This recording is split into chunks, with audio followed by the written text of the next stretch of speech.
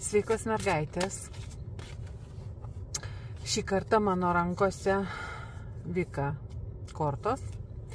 Ir kadangi šitos kortos yra, mm, kaip sakyt, šešėlių knygos um, tesinys arba galima tai pasakyti šešėlių knyga kortų pavydale mes galime pasižiūrėti tokias paslėptas žinias, išsiaiškinti, išsiaiškinti įvairiausius klausimus. Ir žinote, šį kartą man labai norisi pasižiūrėti apie mus pačias, apie jūs. Ir pasižiūrėti, pasikliauti tiesiog kortomis, ką kortos patars, ką kortos pasakys. Ir um, Jūs tiesiog savyje sugalvokite klausimą, į kurį jūs norėtumėt gauti atsakymą. Ir mes pasižiūrėkime, pirmiausiai, tai kortos duos daug patarimų ir pasižiūrėkime, ką pasakys kortos. Tiesiog pasikliaukime kortomis. Taigi, šešėlių knygos taro ir Vika magija.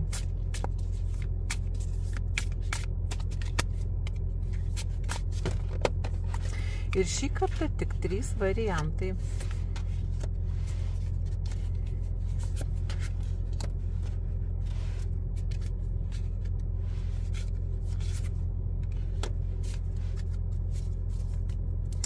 Ir patarčiau sugalvoti, pagalvoti apie save pačią prieš išsirenkant variantą.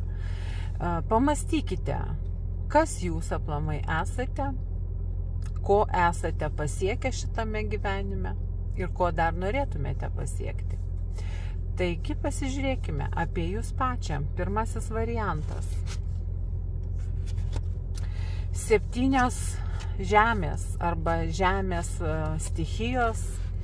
E, žemės stichijos septintoji korta. Ir čia šitoji korta reiškia jūros būtybės Kadangi šitoj kortų kaladėjai šiek tiek asocijuojasi su įprastomis tradicinėmis taro kortomis ir žemės stichija atstoja monetų stichiją, tai čia yra jūros būtybės.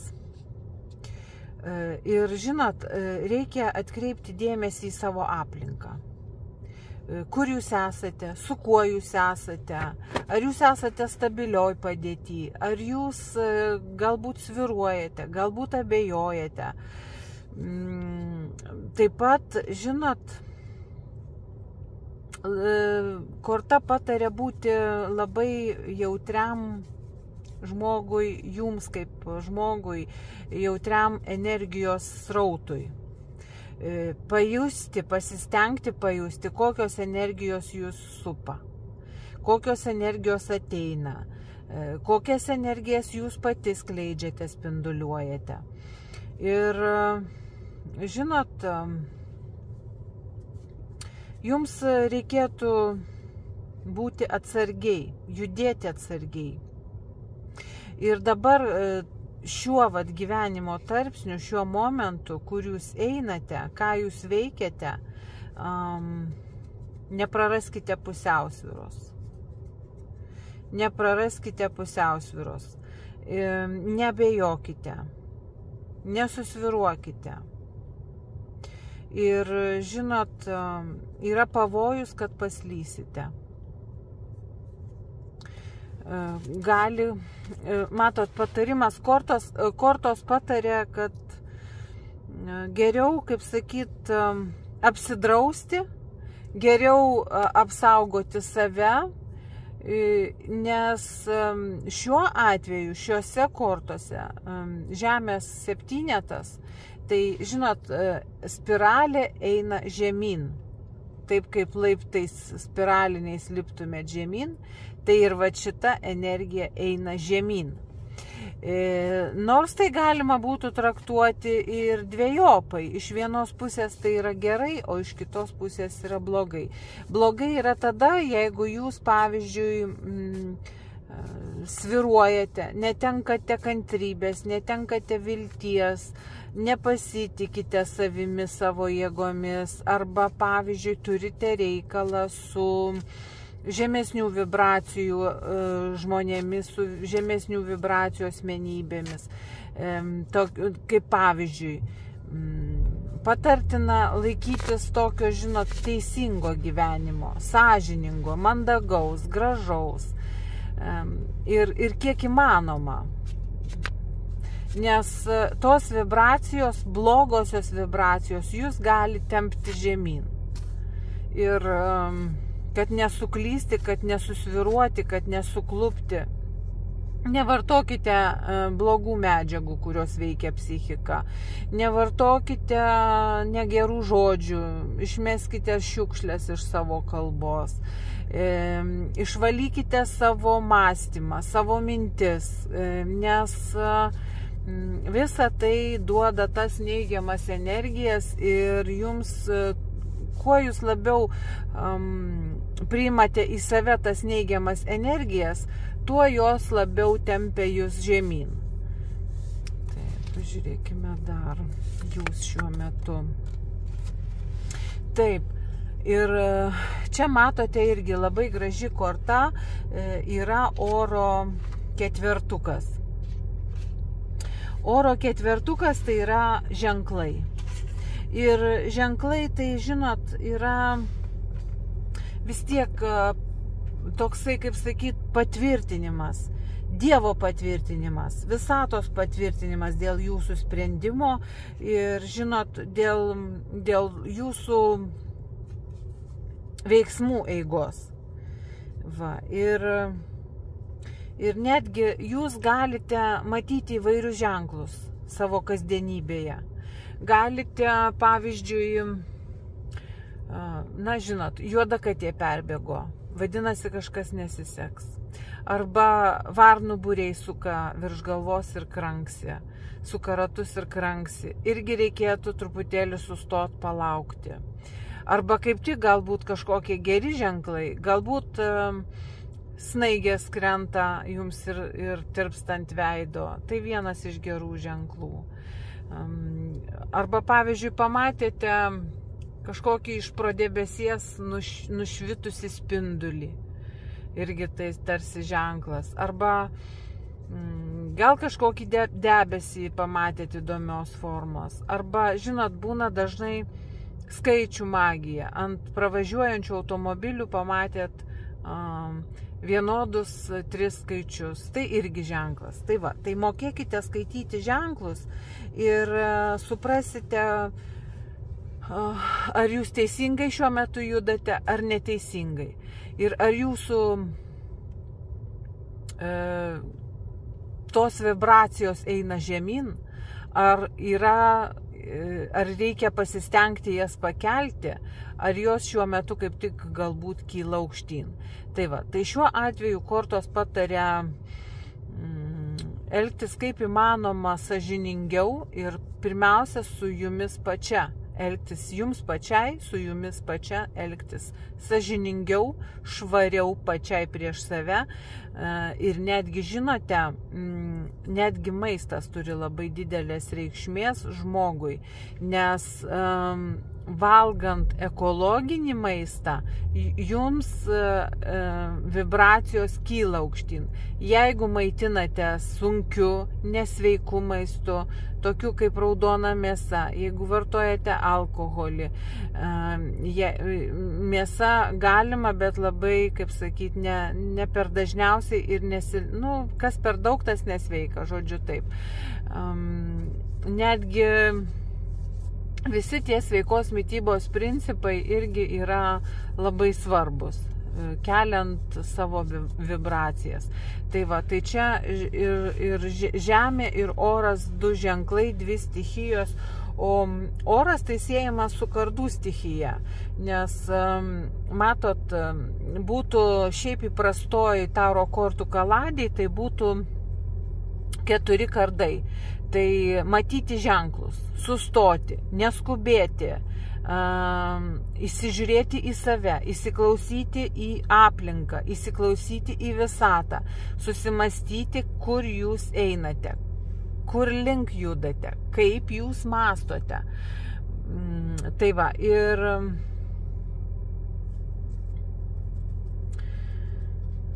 ir, ir tuomet turėtų ateiti tas iš visatos ženklas dar svarbesnis. Pažiūrėkime dar vieną kortą. Oho, tai aukščiausiasis arkanas.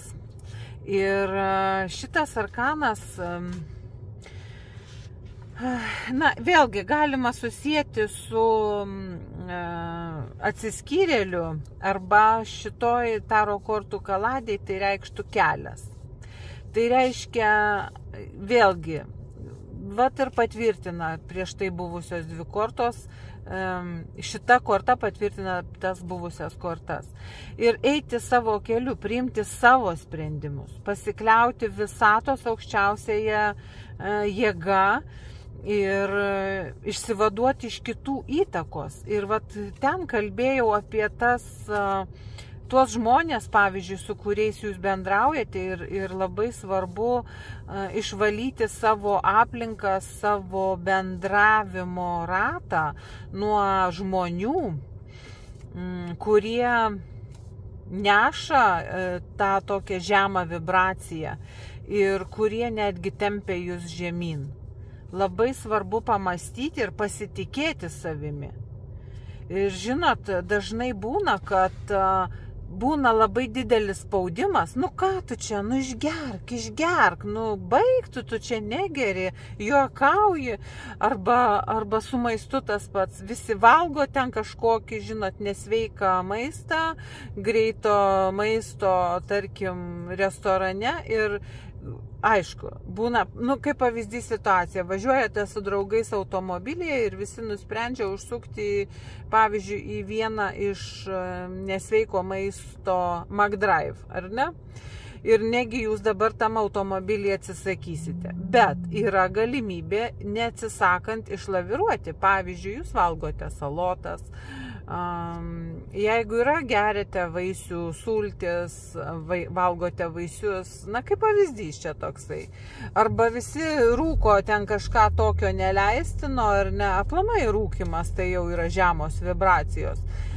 Bet juo labiau ten dar kažkokios draudžiamos medžiagos. Tai va, tai, tai atsisakyti, nepasiduoti spaudimui Ir tai labai svarbu, nes jums va, dėl to gali ir nesisekti šiuo amžiaus periodu, šiuo E, jūsų gyvenimo tarpsnių.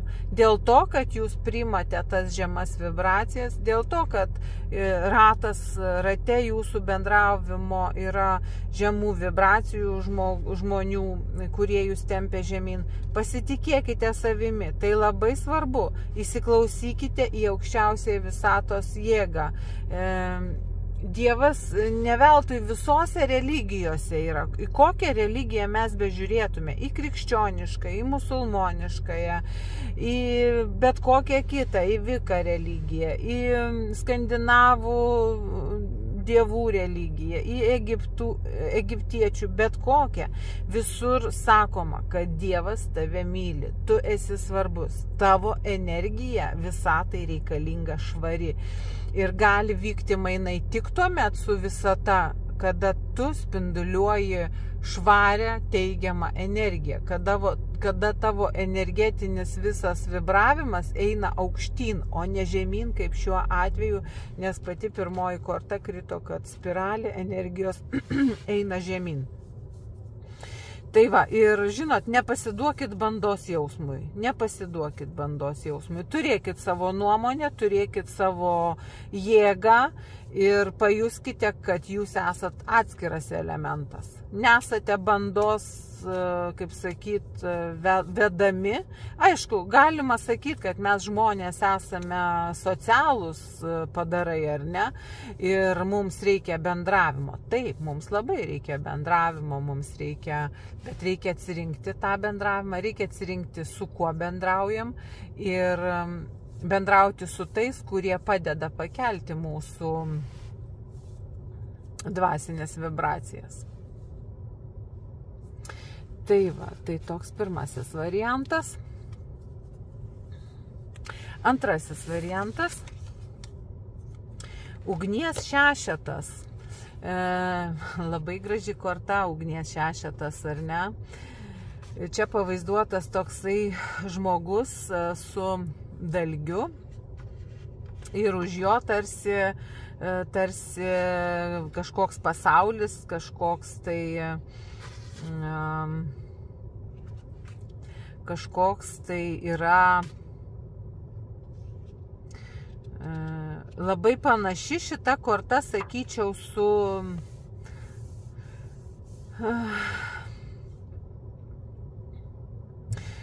Nes matot, ugnis tai yra siejama su lasdom. Tai yra um, energija, tai yra veiksmas, yra judėjimas.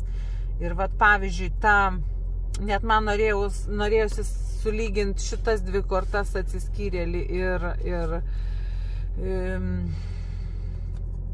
ir šešetą ugnies, bet matot, ugnis tai yra e, tradiciškai siejama su lasdomis. Ir netgi ugnies stichijai atstovauja yra salamandra ir, mm, ir žinot, tokie vaizduojami šitoj stichij, šitos ugnies stichijos kortose, šitoj kaladė, yra vaizduojami tokie astrologiniai um, aspektai, astrologiniai visatos aspektai.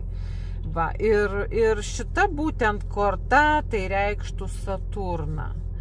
Saturnas tai yra e, konservatyvi, rimta energija, arba netgi labai rimtas toksai konservatyvus požiūris žmogaus. Tai vad jūs atspindi šiuo metu šiame gyvenimo tarpsnyje, kad jūs esate tokia rimta asmenybė, su rimta energija, su rimtu požiūriu, bet žinot, jums patariama peržiūrėti ir analizuoti planus. Ar jūs esate susikūrę planus, ar jūs tiksliai žinote, ko siekiate. Ir mm, labai jums patartina yra pertvarkyti, perdaryti tuos planus. Ir kurti, kurti, kurti, kurti. Planuoti, kurti, daryti, statyti, remontuoti, klyjuoti, lipdyti, piešti, na viskas, kas yra kūryba. Tiek versle kūryba irgi gali būti. Susiplanuoti, kaip jūs dirbsite, kaip jūs veiksite, ką jūs darysite. Nebūtinai versle, netgi santykiuose taip pat reikia viską planuoti. Net ir santykių temoje, pavyzdžiui, viską taip pat reikia planuoti. Juk ugnies stichija irgi yra toksai a, apie meilę, apie apie karštumą, apie veiklumą. Bet, bet Saturnas, jisai toksai konservatyvumo atspindys. Ir jeigu santykiuose, tai tas konservatyvumas yra tikrai labai gerai, nes um, dažnai būna taip, kad um, tas modernizmas, ypatingai santykiuose, jis dažnai leidžia paslysti padaryti pernelyg greitus žingsnius, neapgalvotus žingsnius. Pavyzdžiui, pasiduoti intimiems santykiams per greitai. To nereikia daryti. O vat ir Saturnas ir patarė, būkite konservatyvi asmenybė, būkite rimta, su rimtais požiūriais, su rimta energija ir peržiūrėkit, analizuokit savo planus ir kurkite ateitį, kurkite ir viskas seksis. E, žinot, e, ir patarimas jums toksai būtų, nebijokite nesėkmės. Nu, nebijokite. Nes tas, kas daro, tas, kas įdeda energiją, jiems visada sekasi. Gerai, pažiūrėkime dar vieną kortą. O, ir iškrenta jums um, oro karūna, arba kitaip, e, jeigu sulygintume, tai būtų oro karalius ir e, šita korta e, e, pirmiausia, tai pasakysiu gal apie oro stichiją, nes kadangi šviežiai pradėjome dirbti su šita kortų kaladė, tai oras siejamas su kardų stichija. Ir um, vaizduoja žinot, tokius ir būrimo, ir tikrovės mm, aspektus, kaip yra išaiškinama per būrimą. Va, ir šiuo metu jums karalius arba kitaip oro karūna, tai yra užversta knyga šita korta ir labai tokia rimta korta, karalius pavaizduotas. Tai žodžiu, yra dalykų, kurių neturite žinoti šiuo metu. Visata jums dar neleidžia atskleisti, nu, neatskleidžiami jums iki galo visi aspektai. Kol kas, e, kol kas išmeskite iš galvos, paleiskite tą situaciją, kuri jūs neramina. Pasiduokite e, visatos jėgai, pasiduokite įvykių tiekmiai Ir, ir žinot, patarimas būtų, nu, nesiekite per prievartą dalykų tokių, kurie mm, nėra jūsų, kurie jums neatsiskleidžia. Arba, pavyzdžiui, e, nelyskite per giliai į ne savo reikalus, e, į kitų reikalus, kurie mm, kaip sakyt, į dalykus, kurie leidžia sužinoti kitų žmonių paslaptis. To jums nereikia. Užversta knyga viskas, nesigilinat, gilinatės labiau į save. Į save surimtėjate, būnate rimtesni, konservatyvus, žiūrite į viską rimtai. Ir pažiūrėkime trečiąją kortą vandens, de, dešimt, dešimt vandens, kaip, kaip čia pasakyti, dešimtoji vandens korta. E, tai dešimtoji vandens korta, o vanduo, vandens elementas siejamas su taurių e, kortomis ir atstovauja, mm, vaizduoja, žodžiu, deives ir, ir veido bruožus, tai šitam e, vandens stichijos kortose yra deivių, deivių vardai, deivių veidai, deivių um, atspindžiai ir čia yra Hekaltė. Hekatė, atsiprašau.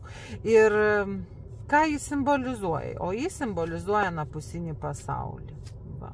Ir būtinybė imtis veiksmų.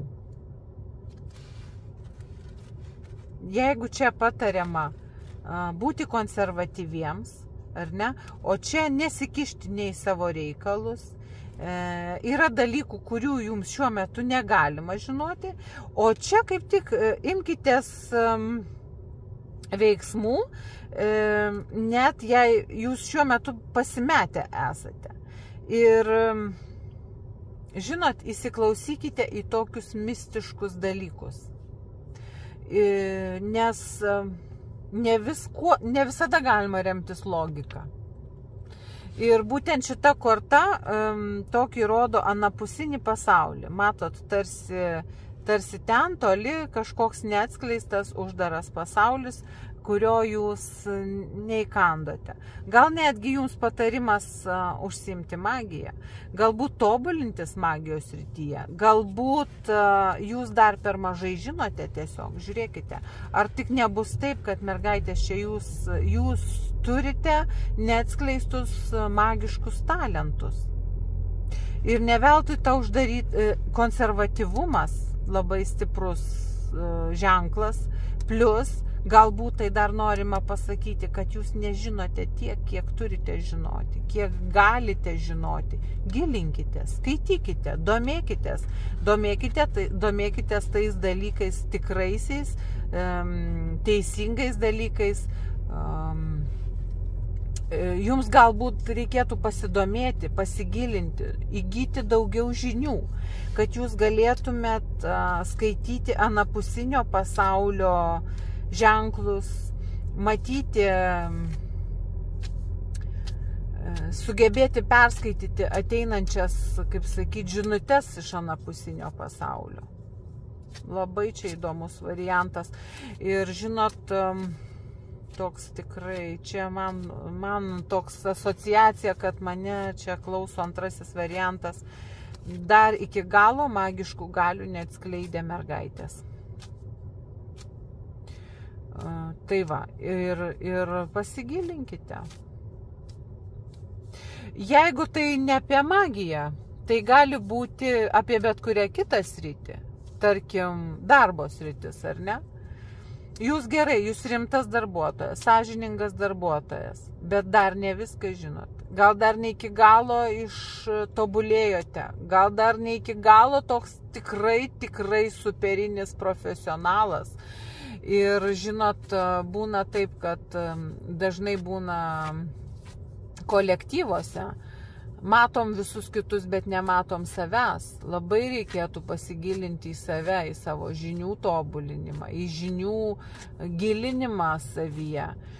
Ir pasikliauti ne tik logiką, bet pasikliauti ir intuiciją, pasikliauti savo mm, aiškiaregiškumu netgi. Tai va, tai čia toks Ne visada viskas paremta logika. Labai yra stiprus ir tas šeštasis jausmas. Taip. Ir trečiasis variantas.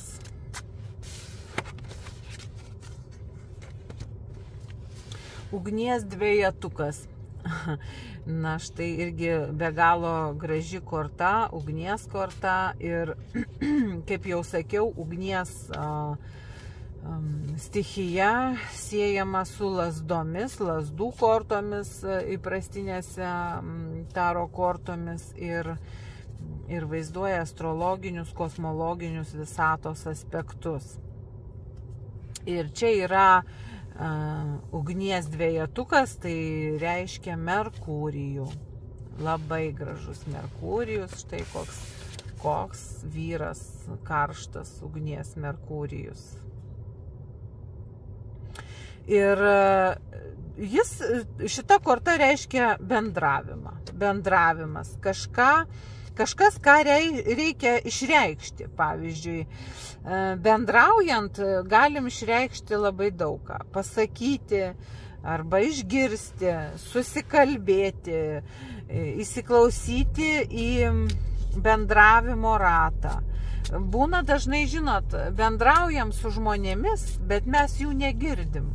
Mes dažnai girdim save. Ir dažnai būna taip, kad norim bendrauti dėl to, kad uh, norim išsisakyti, pasisakyti, norim būti išgirsti. Bet šiuo atveju korta patarė išgirsti kitą, išgirsti savo pašnekovą, suprasti, susikalbėti su juo, kad e, išvengtume to nesusikalbėjimo ar nesusipratimų kažkokių tai. Tai va, tai čia toksai bendravimo ratas labai didelis. Galbūt jums ir šiaip tenka labai daug bendrauti. E, greičiausiai, kad jums tenka daug, daug bendrauti, nes Merkurijus yra mm, tokia korta, kuri e, valdo netgi zodiako ženklą atsakingą už bendravimą.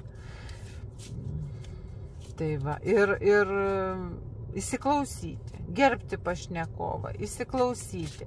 Dažnai būna porose, žinot, tarp sutuoktinių, kurie jau, e, pavyzdžiui, susituokia, nu, gali būti bendrai ir, ir dar nesusituokusi pora, bet jau kuri sprendžia tuos tokius, žinot, kasdienius klausimus, būties klausimus, kasdienės rutinos klausimus. Ir, pavyzdžiui, tarp kurių įvyksta nesusikalbėjimas. O dažnai būna taip, kad vienas kalba, nori pasakyti, nori būti suprastas, o kitas su savo karštakošiškom emocijom tiesiog nesileidžia, neleidžia savo išgirsti ir neleidžia savo klausyti partnerio. Va, tai, tai čia toks patarimas. Ir dabar antroji korta yra vandens penketukas. Va, o vanduo tai siejama su taurėmis, tai vad ne veltui aš čia apie tą meilę ir kalbėjau. Tai e, matot, kaip viena kita kortos papildo. Ir, ir vandens penketukas e, yra Deivė Belana. Deivė Belana, ji simbolizuoja karą, pikčius, mūšį Tai vat ir yra apie nesusikalbėjimą. E, beje, šita deivė yra tokia be galo emocinga, dramatiška, sukurianti tokią, žinot, emociškai įtemptą situaciją. Arba tokius, žinot, sukuria e, situaciją keliančią nerimą.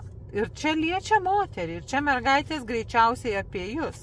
Tai va, jūs pagalvokite, ar jūs teisingai bendraujate savo tarpę, savo žmonių tarpę, ar su savo e, širdies žmogumi, ar su uh, aplamai visais žmonėmis. Ir čia labai labai rimtas toks um, pastebėjimas tiesiog yra. Ir, ir žinot, jums netgi mm, sako korta, kad tai jūs pati keliate nerimą aplinkoj.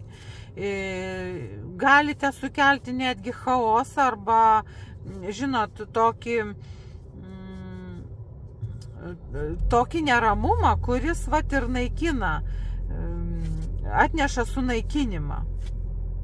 O juk viskas prasideda nuo neigiamų emocijų. Ir tos neigiamos vibracijos kylančios iš tų neigiamų emocijų, iš to keliamo chaoso ir greuna viską. Ir greuna porą, greuna santykius, greuna meilę. Žudo meilę. Tai va, mergaitės, jums čia labai rimtas patarimas. Ištraukime dar vieną kortą. Žemės aštuntukas O jau žemės e, stichija jau eina kaip ir, kaip ir monetų, žodžiu, siejama su pentakliais. Arba dar žinote, šitoj kaladėj žemės kortose labai daug naudojama tų nikštukų arba gnomų vadinamų.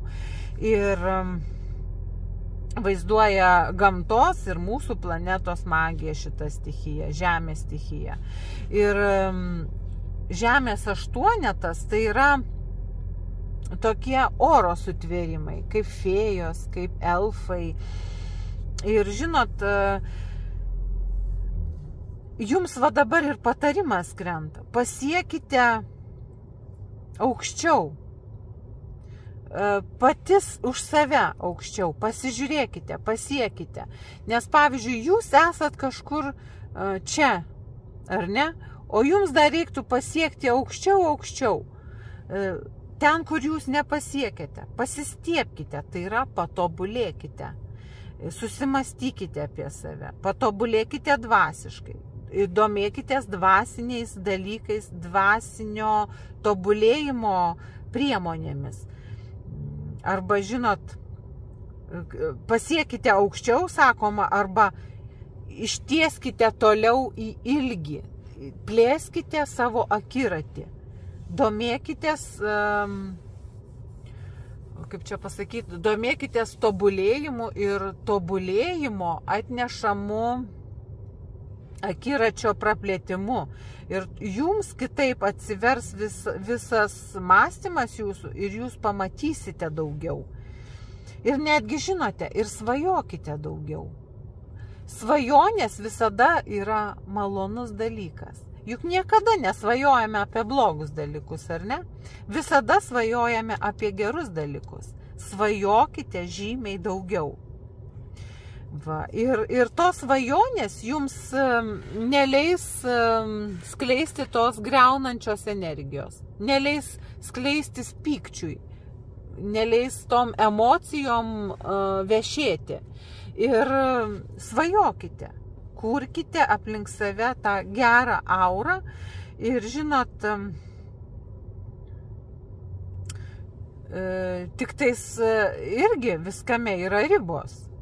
Tai va ir toks dar vienas patarimas, bet nebūkite pernelyg gopšus netgi svajonėse. E, tai yra neturėkite nerealių lūkesčių, svajokite apie realius dalykus. Pavyzdžiui, svajokite apie gražius santykius, apie meilę, kaip gražiai sutarėte, kaip vienas kitą išgirstate, kaip kit, vienas kito nuomonės paisote, kaip tiesiog, kaip einate besišypsodami susikibę už rankučių. Čia kaip pavyzdys, jeigu meilės rytyje. Jeigu tai tarp kolektyvo, tarp darbo reikalų, tai tiesiog svajokite pagalvokite, kaip, kaip viskas gražiai klostosi, kaip draugiškai dirbate kiekvienas savo darbą, bet ranka rankon, e, vardan viso kolektyvo našumo, vardan, e, tarkim, įmonės, įstaigos labo, žmonių labui. Mm, va, ir, ir jūsų, jūsų, kaip sakyt, tas tas išdidumas, tas toksai emocinis chaosas, jisai pasibaigs, jisai išsiblaškys. Ir, ir, ir kad pasiektumėte, kad viskas pradėtų sektis, kad jūs nurimtumėt, kad jaustumėtės um, ramiai. Juk ne veltui krikščion, krikščionių tikėjime, bažnyčioje per pamaldas ar ne, arba per mišes um, sakoma, palinkėkite vieni kitiems ramybės. Juk ramybė tai yra be galo svarbus, jeigu ne pats svarbiausias dalykas šitame pasaulyje. Ne, gal ne, ne pats svarbiausias, sakyčiau, meilė, kuriančioji jėga yra svarbiausia, su kuria ateina ramybė. Tai va, tai žodžiu, bendraukite pagarbiai, E, girdėkite vienas kitą, nekelkite chaoso ir plėskite savo gerą energetiką, geros energetikos vibracijas ir aplink jūsų žydės žolės, žiedai, gėlės, medžiai, skraidys žiedų fėjos ir tie nematomi gnomai gyvens savo, savo laimėje. Jeigu teko matyti pasakas, kaip paprastiems žmonėms yra šitie elfai ir fėjos nematomi, bet jie padaro labai daug. O tai yra dvasios, tai yra energija, tai yra energetinis vibravimas. Tai va, mergaitės, šiandien tokia truputėlį kitokia buvo dėlionė. Tai sėkmės jums. Iki.